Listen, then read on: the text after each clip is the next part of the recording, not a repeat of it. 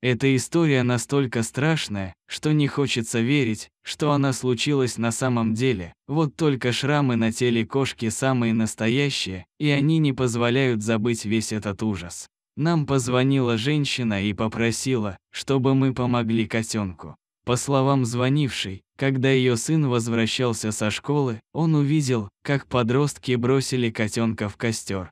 Мальчику удалось отобрать у хулиганов животное, которое он не стал оставлять на улице, а принес домой. Визуально казалось, что кошка обошлась лишь сильным перепугом и опаленной шерстью на одном боку. Других травм видно не было, вот только кошка вела себя крайне странно.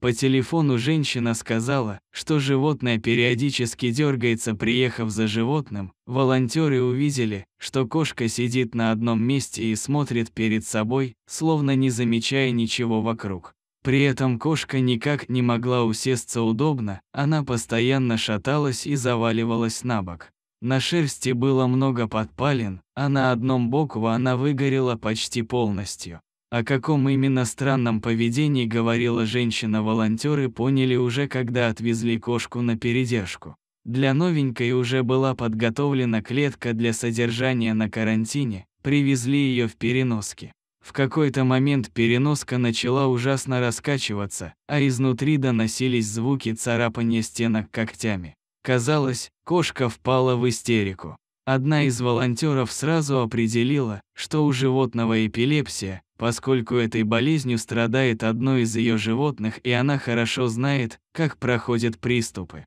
Когда приступ миновал, кошка вновь стала вялой и апатичной, просто сидела, глядя в одну точку. Худшее было впереди. Не успела кошечка отойти от недавнего приступа, как начался новый. Приступы не прекращались, перерывы между ними были не более часа. Вести животное в таком состоянии к ветеринарам мы не могли, поэтому договорились об онлайн-консультации. Мы отправили врачам видео, с помощью которого они подтвердили догадку волонтеров об эпилепсии, а также назначили кошке препараты, способные купировать приступы. Прием лекарств дал результаты в первый же день, приступы сошли на нет. Страдает этим заболеванием кошка с самого рождения или оно стало следствием стресса, пережитого ею, когда ее пытались сжечь заживо, врачи судить не берутся. Пока однозначно можно сказать, что в ближайшие два года малышке предстоит принимать таблетки для стабилизации ее состояния, а после врачи будут решать о прекращении или продлении курса лечения.